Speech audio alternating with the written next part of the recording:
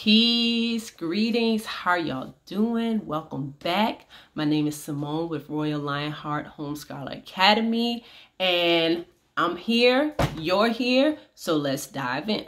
All right. So today I want to talk about support systems. Support systems while homeschooling. You know, there's a lot of families that do not have relatives that support their efforts to homeschool. A lot of people are single family are in single family homes and they don't have a spouse or someone else to help balance out their home while they homeschool their children. So, support systems are so important and cooperatives are so important. That a co-op is just parents, families coming together to help educate the children. They can be of like mind, they can have differences, but at the end of the day, the main goal is to educate the children, to give them the best start possible. All right, and we can only do that with working as a village. So, today I want to introduce you, if you do not know, of Liberated Minds Homeschool Collective. All right. Um, they are a branch from Roots to Fruits. Um, and these two here are magazines from the expos that we have attended. Um, first, our first year was in 2015, um, shortly after we moved to Georgia. And uh, this magazine here is from 2018. And we also attended last year, which did not include a magazine, but we have um, other handouts and whatnot. But we love these magazines. These are keepsake, the keepsake. And um, if you want to order one and get a peek of what's inside, lots of information, lots of knowledge, lots of understanding, go to liberatedmindsexpo.com. All right, that's where you want to go. So you can definitely be a part of the expo that is two weeks from now, June uh, 26th through the 28th and it's virtual. Like at first, throughout this whole COVID situation, we were like, we're going to have an expo this year. You know, we look forward to it every single year. It's a family reunion for us. It's a time to go and recharge, to be with our people, to learn, to soak up all the knowledge that we possibly can to propel us forward to the future. And they have a section where our children can go. It's called Watoto Village. Um, Watoto means children. And they go and learn while we're in our workshops learning. So we love it. And there's vendors, black businesses all across the board. It's only us. Only us. Have you ever been to an event with only us? Hmm, I'll wait on that. Anyways, it's beautiful. It is so beautiful and so refreshing.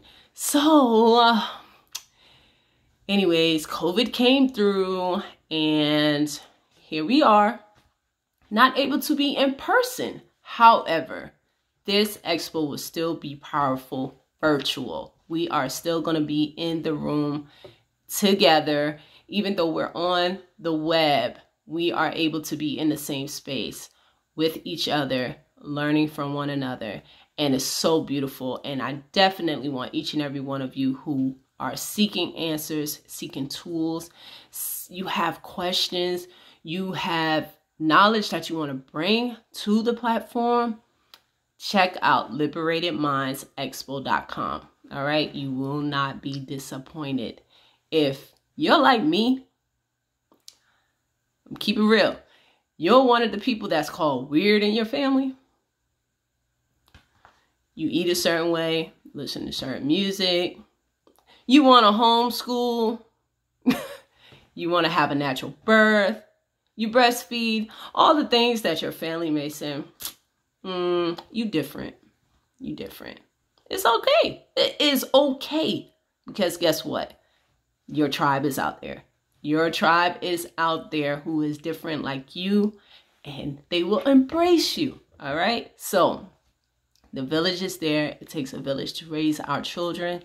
And I want you all to check out liberatedmindsexpo.com. You will not be disappointed.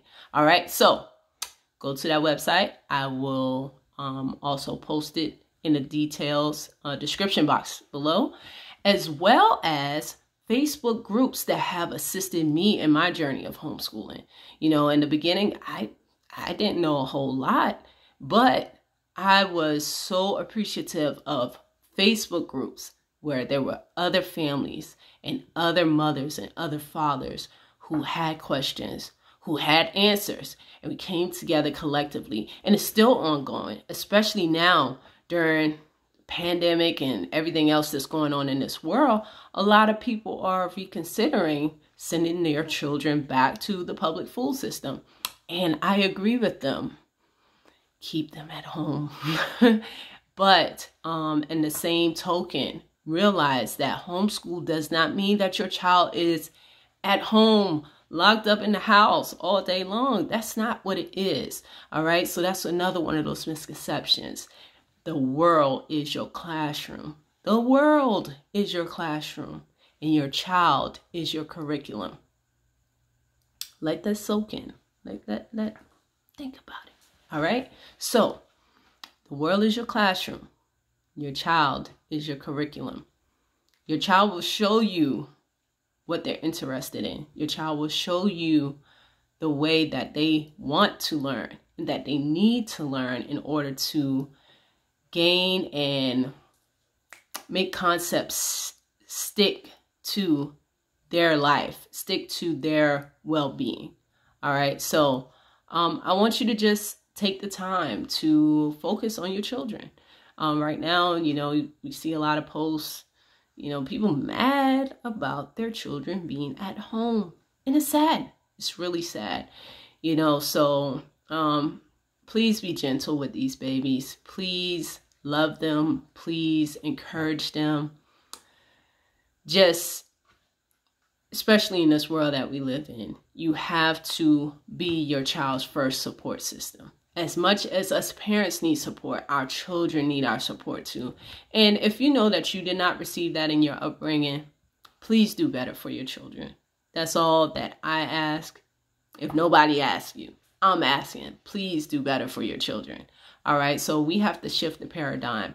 We have to prepare a space for our children to flourish. All right. So let's be that for them. Check out all the pages that I'm going to list in the description box. Check out the website and um let's be each other's support. All right. Peace, love, and light.